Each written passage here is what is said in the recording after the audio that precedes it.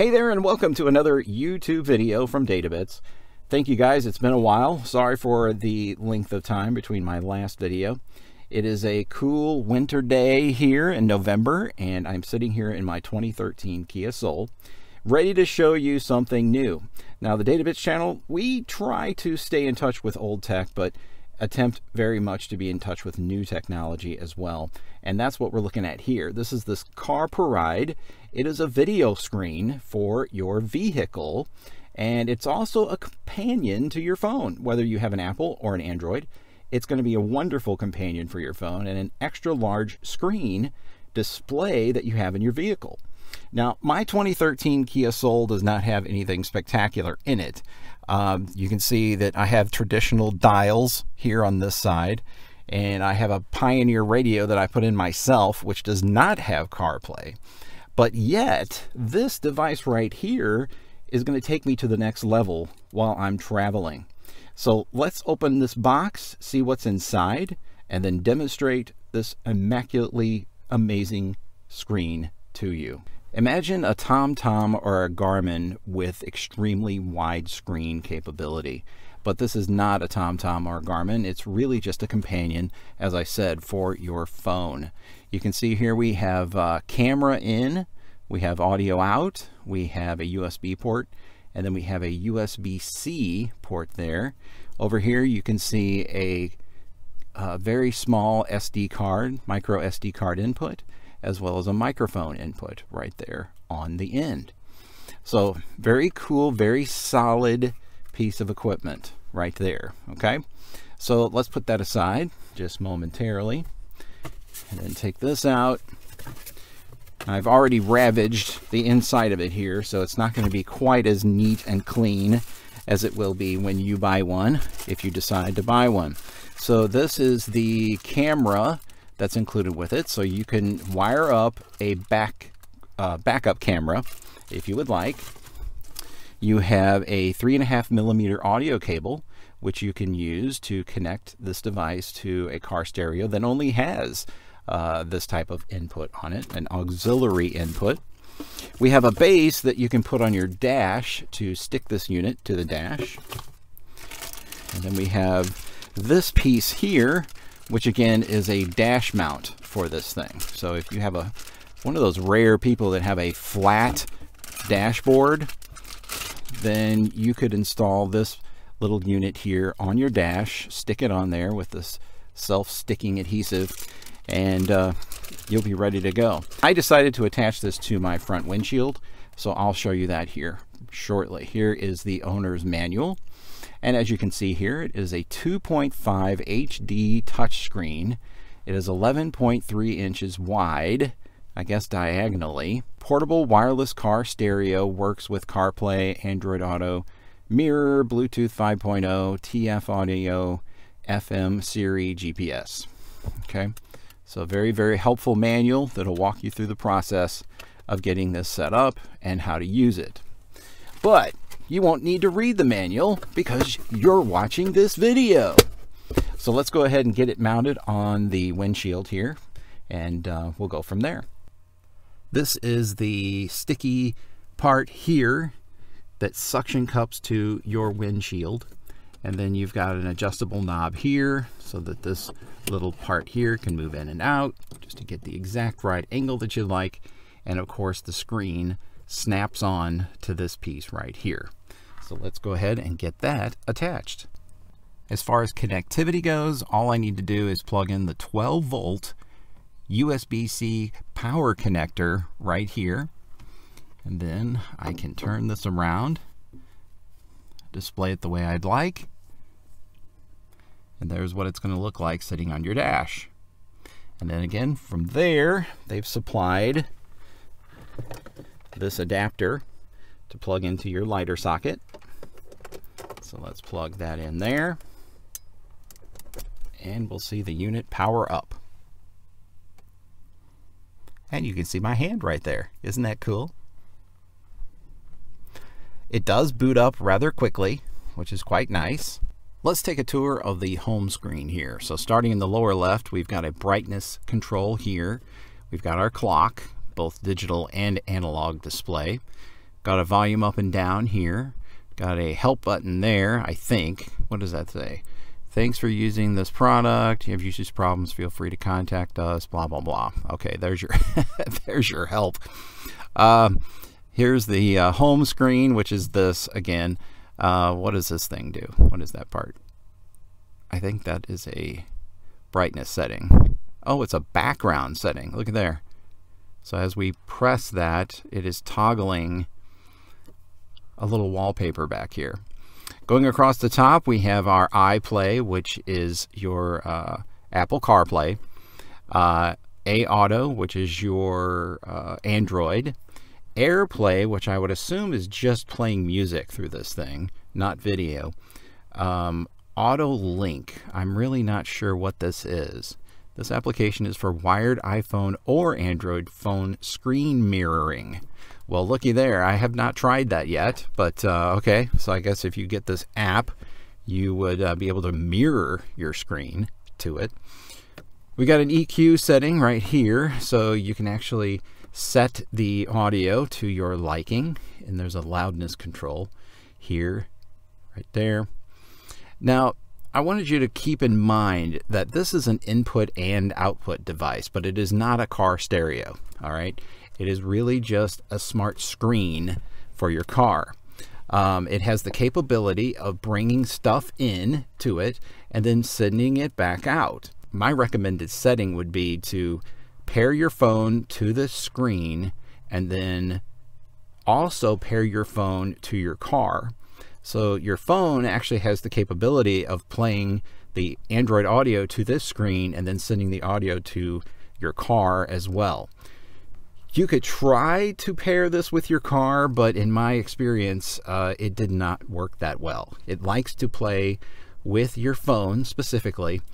Um, if you do want to transmit it back out to your vehicle, you can try that here. So you can do an Bluetooth transmit or FM transmit there. Now the FM transmit is exactly what you would think it is. It's going to send the audio through your FM radio of your car. So even if your car is ancient, you could still use this with it, as long, of course, as it has an FM radio inside, right? So imagine that. If you just have a car with an FM radio, oh, you have really upgraded, okay?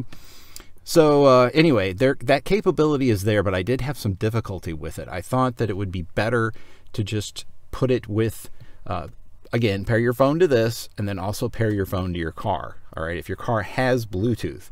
If your car does not have Bluetooth, again, you can transmit it over FM or you can hook up the 3.5 millimeter plug to the side and run that into the auxiliary in of your car. And if your car doesn't have that, this has a built-in speaker on it. So if you're just listening to turn-by-turn -turn directions, this unit will actually broadcast it itself.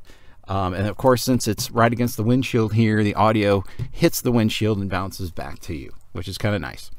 All right, so uh, down here, we do have the Bluetooth.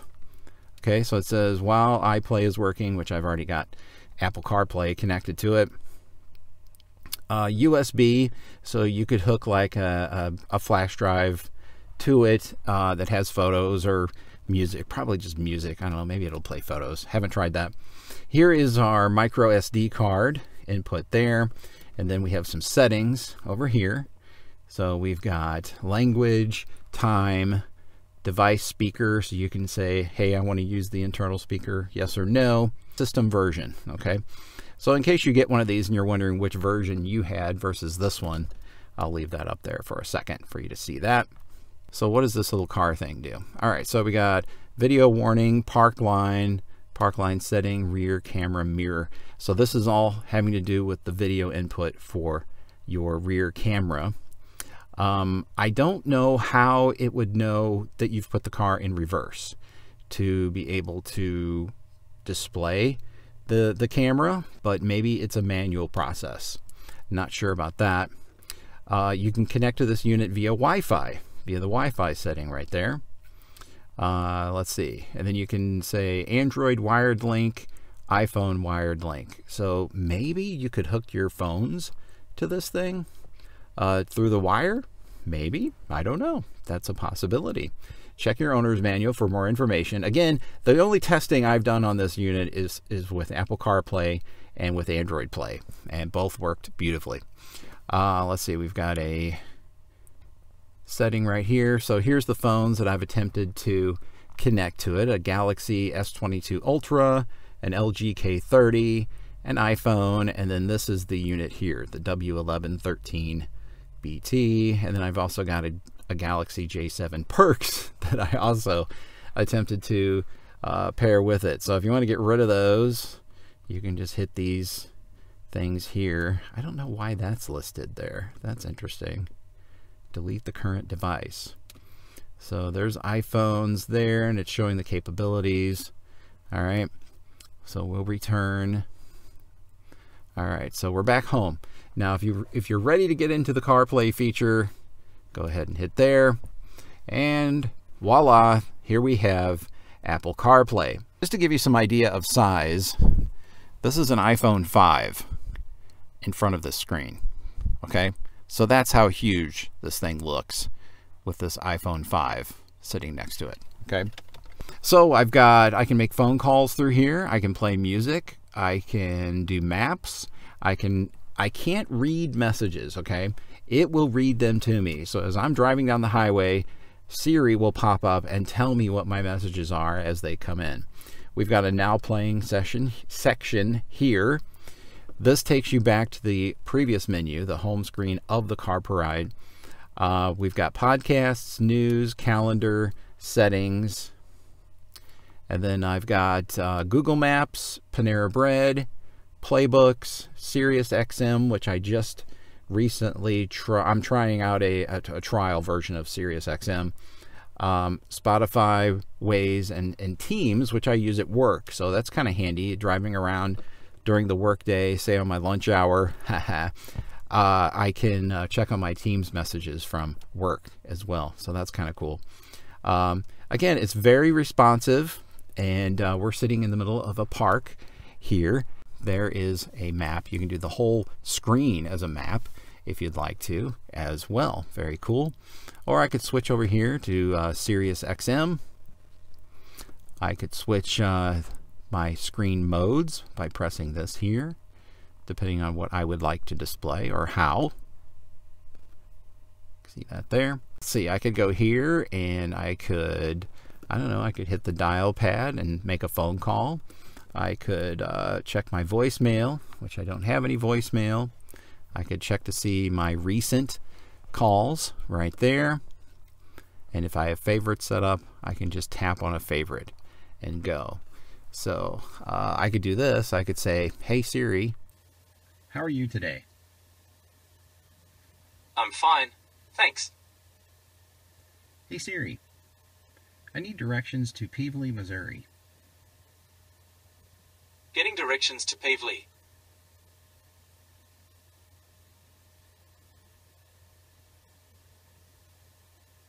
Starting route to Pevely. Proceed to Charles Earls Drive, then turn left.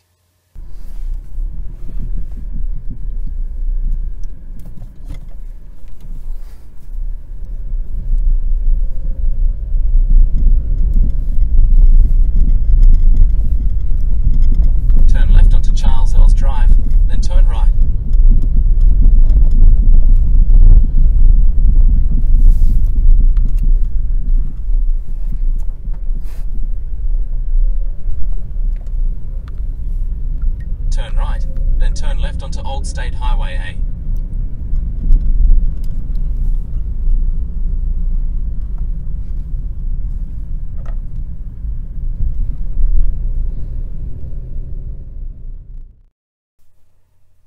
And this will conclude our video about the CarPlay high definition monitor for your car. Truly a companion for your smartphone. Please leave a comment, a powerful comment, in the comments section below. You can follow me on all my social medias. Those are in the description. There's also a link to this device if you'd like to learn more about it or if you want to buy one. That affiliate link will help me out and support the channel. Thank you for watching again. Have a great day. And uh, I'm going to go do some driving around and listening to some podcasts and uh, getting some help from Siri for directions. I'll see you next time.